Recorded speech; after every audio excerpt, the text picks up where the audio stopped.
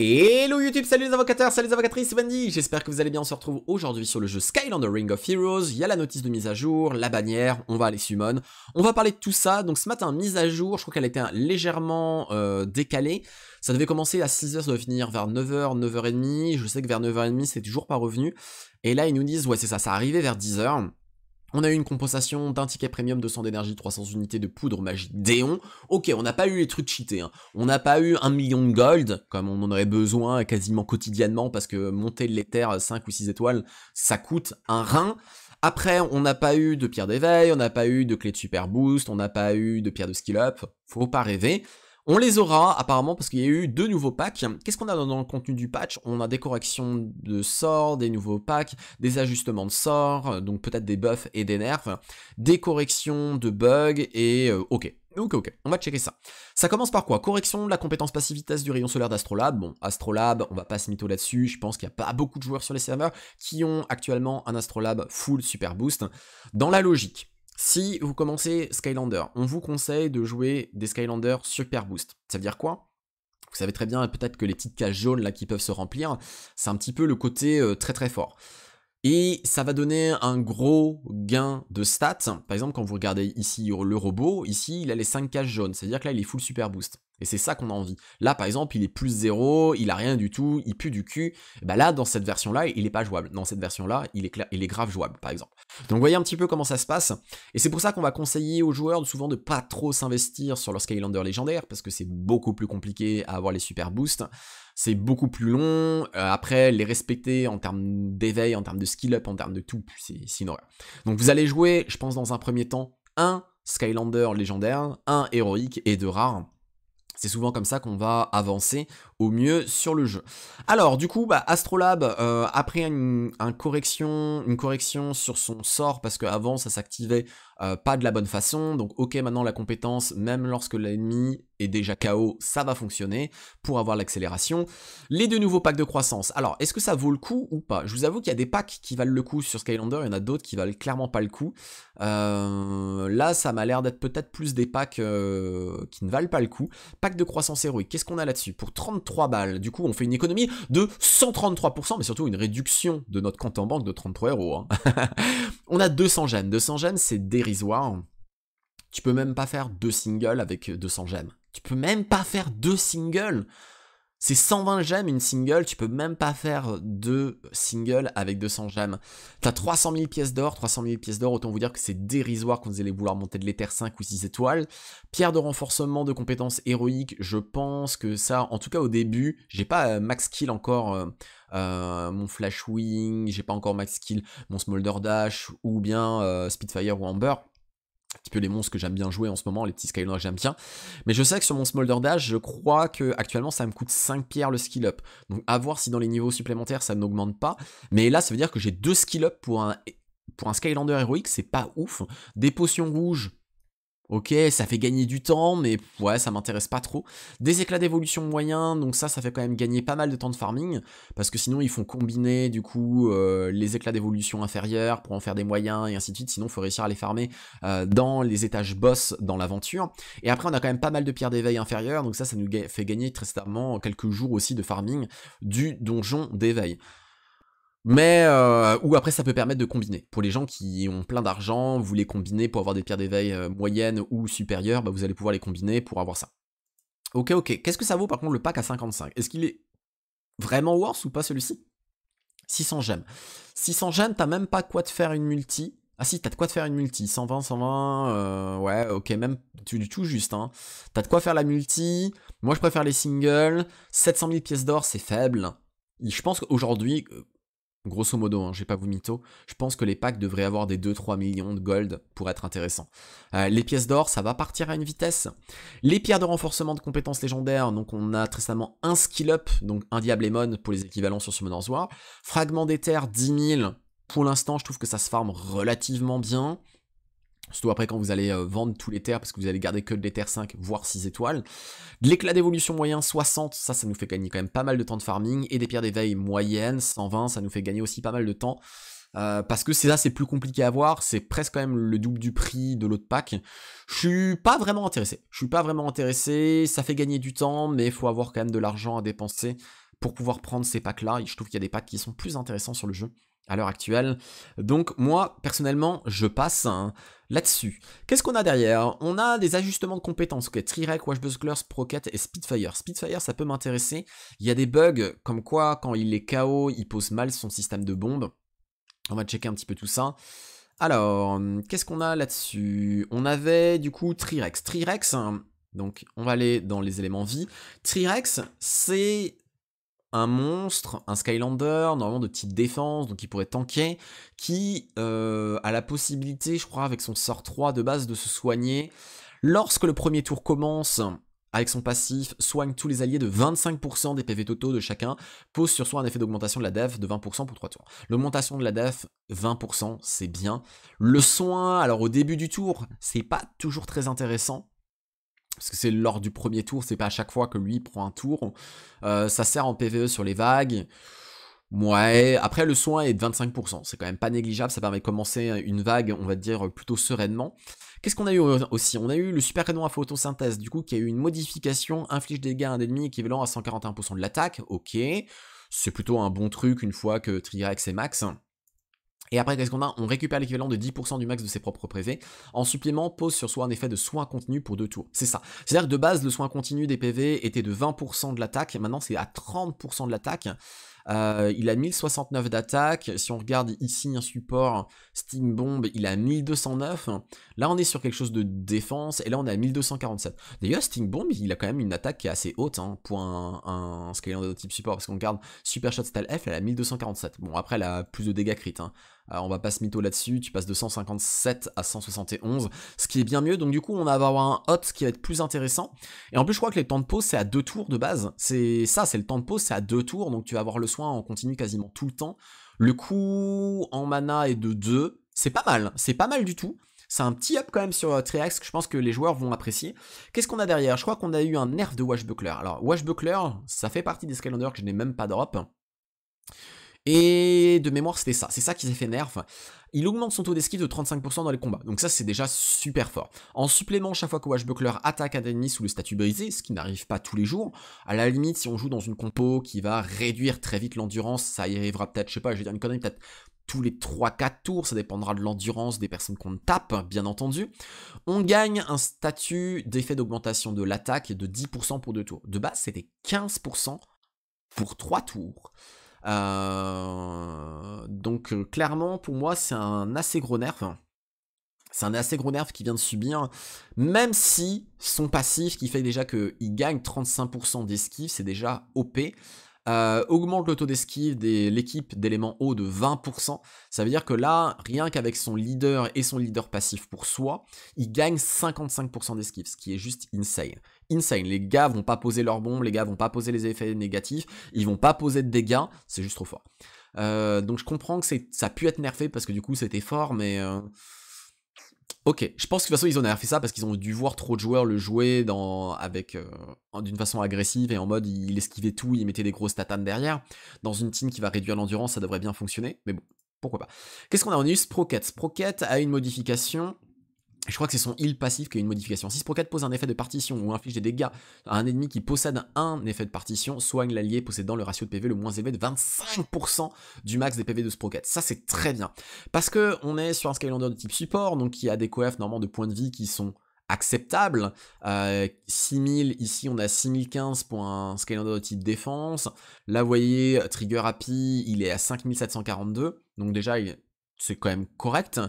Euh, en plus, c'est du max des PV, c'est-à-dire qu'après, ça va prendre en compte, bien entendu, l'effet de l'éther et tout. Et donc, on va avoir un soin à hauteur de 25%. C'est pas, pas mauvais, 25%. C'est clairement pas mauvais. Euh, faudrait voir son stuff assez con. Il y a qu'un seul torse. Il y a qu'un seul torse parce que avec deux torses, ça aurait peut-être pu être assez insane de jouer ça. Là, par exemple, là, vous voyez, là, il y a deux armes, donc là, il va avoir beaucoup plus de puissance d'attaque, mais moins de HP. Et là, il y a un seul torse. S'il y avait eu deux torses, ça aurait pu être pété. Mais je sais pas euh, quel type de... Là, par exemple, vous voyez, Gearshift, lui, il a deux, torses. Et bah donc la Sprocat, ça aurait pu euh, peut-être soigner, donc va falloir aller chercher peut-être un maximum de HP. Je trouve que le Smart Heal est cool et une augmentation de 15% de la pour 3 tours, ça c'est quand même euh, tout bénef aussi. Donc Sprocat c'est cool, Après, à voir quel team on va pouvoir faire autour des mécaniques de partition. Alors c'est toujours le problème, c'est quand par exemple on parle d'une team vie, les team vie vont souvent tourner autour d'une mécanique de poison, les team feu souvent partir autour de mécaniques, comme on le dit, euh, de, de bombes, même s'il y a d'autres Skylanders qui posent des bombes, il y a d'autres Skylanders qui posent des effets de poison. Là, l'effet de partition, en général, ça va quand même beaucoup sur les effets tech. Donc à voir ce qu'on pourrait monter comme team, peut-être pour qu'à chaque fois, euh, Sprocket joue rapidement et soigne les alliés. Euh, suffit que derrière, bah, on a un gear shift qui lui a tendance à euh, esquiver énormément. Ça peut être pas mal, augmente son taux d'esquive de 30% dans les combats en moment si les PV de gear shift sont inférieurs à 40% lorsque le tour commence, pose sur soi un effet d'augmentation des soins de 15%. Donc là, il y a peut-être un combo à imaginer entre euh, gear et Sprocket. Sprocket grâce à son passif et grâce au leader de gear shift et tout. Il y a peut-être un truc sympa avec les effets de partition à faire en combo là-dessus. À voir. À voir honnêtement, je trouve que ça pourrait être pas mal. Et après on a eu Spitfire qui a eu euh, un ajustement, donc je savais qu'avec Spitfire il y avait un bug. Excusez-moi, hein, je sais pas si vous entendez le bruit derrière, mais quelqu'un qui est en train de percer dans le mur, et c'est très gênant. Euh... Augmente la précision de Spitfire, blablabla. C'était quoi? Voilà, c'est ça. Pour euh, pose sur tous les ennemis un effet d'explosion pour deux tours lorsque Spitfire reçoit des dégâts fatals, ça s'active une fois durant le combat. Et donc il y avait un problème qui faisait que euh, régulièrement il ne posait pas cet effet-là quand il mourait. Donc c'est plutôt une bonne chose. Il y a eu aussi un ajustement des utilisations des compétences, des soins de Zulu et de Flashwing en combat automatique. Ça veut dire peut-être que ça spamme pas le soin dès le début quand il n'y en a pas besoin. Et donc ça bouffe l'endurance euh, enfin ça bouffe la mana du coup euh, de, tes Skylanders et donc t'arrives pas à cycler comme il faut. Donc ça c'est bien, ils ont corrigé un petit peu l'IA aussi. Donc ça c'est plutôt cool. Qu'est-ce qu'on a eu derrière après sur la fin de la mise à jour avant qu'on aille invoquer sur la bannière Take My Money? Parce que on a une bannière de dingue, je vais vous expliquer un petit peu le pourquoi du comment. Qu'est-ce qu'on a? Euh, Correction de l'erreur entraînant le non-affichage de l'indication d'abonnement en cours d'un passage d'un mode payant une fois la période d'abonnement gratuite terminée. Ça, on le savait qu'il y avait un bug. C'est pour ça que de temps en temps, on avait un message avec un petit bandeau qui passait en disant oui, ça fonctionne quand même, faites bien gaffe et tout.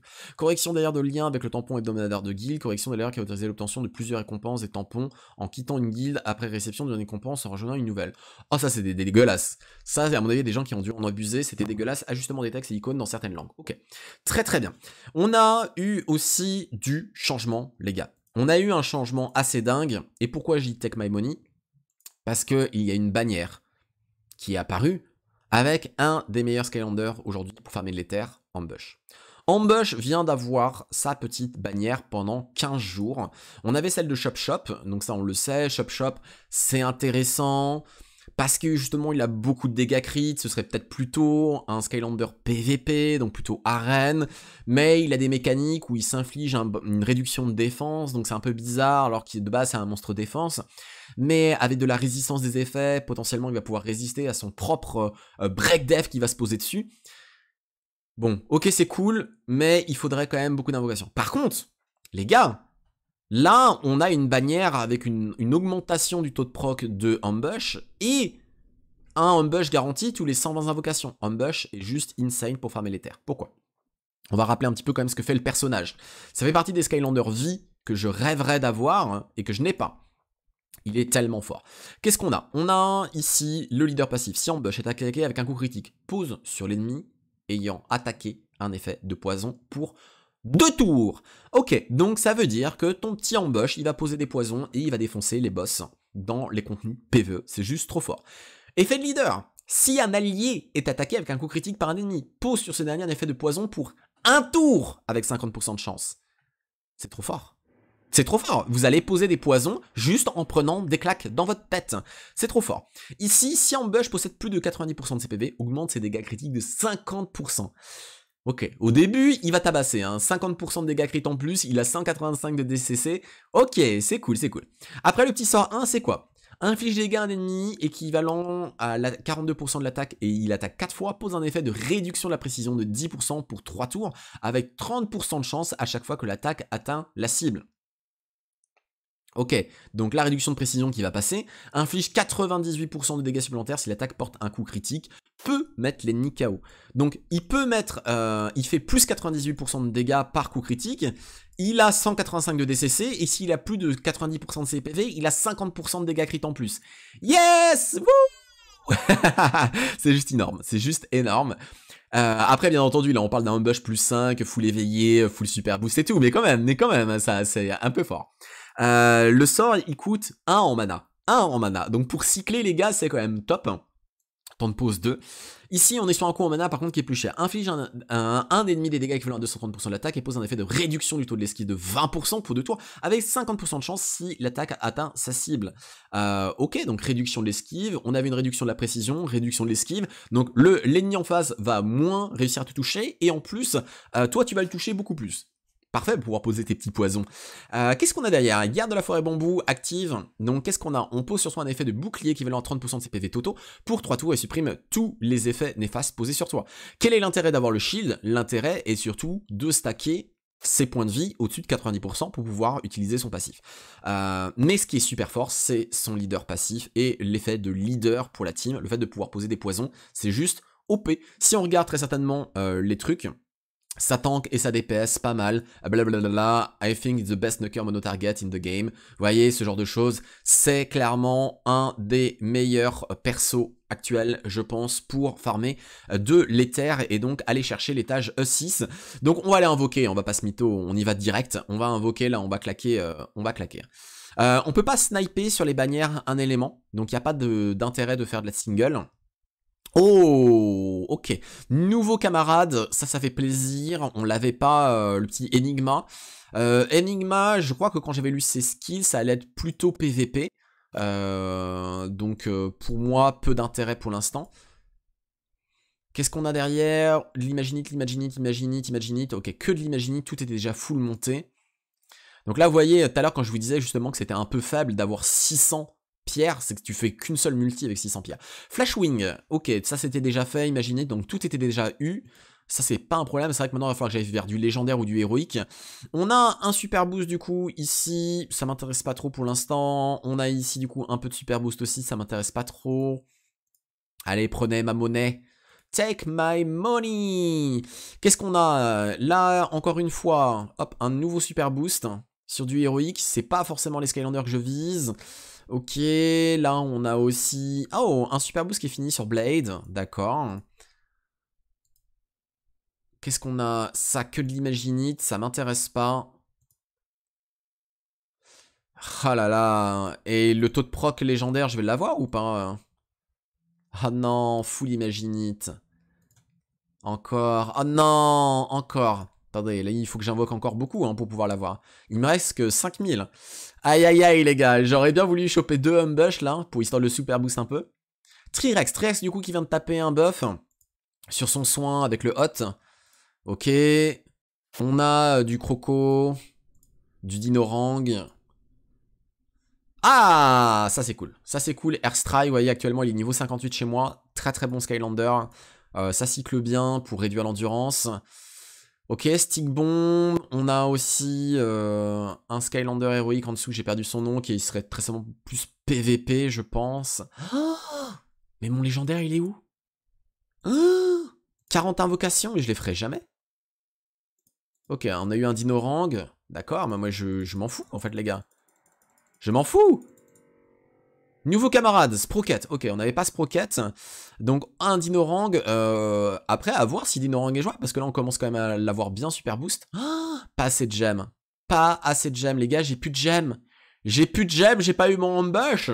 Et, euh, mais c'est pas grave. On va aller euh, à un moment, très certainement, acheter du pack sur le jeu, on va pouvoir tout recevoir aussi. Là, j'avais récupéré toute l'énergie que je pouvais récupérer parce que là, on va full, full pex. Je m'étais dit, avec un peu de chance, je vais taper un ambush. Donc euh, c'est plutôt bon, ok, 855 pierres, on va garder les 855 pierres, mais euh, cette bannière, bah voilà, hein, c'est clairement la bannière Take My Money si vous voulez avancer euh, à l'heure actuelle dans le PVE pour farmer les terres, Ambush c'est juste God tier, c'est trop fort, c'est trop fort son passif. Dans 30, c'est-à-dire qu'il faut que je fasse encore 6 multi, et je l'aurais garanti, donc 6 x 6, 36, 3600 pierres. Ça va être compliqué, hein. si je veux claquer 3600 pierres les gars dans la boutique, ça va être cher. Hein. Ça va être cher, hein, moi je vous le dis. Hein.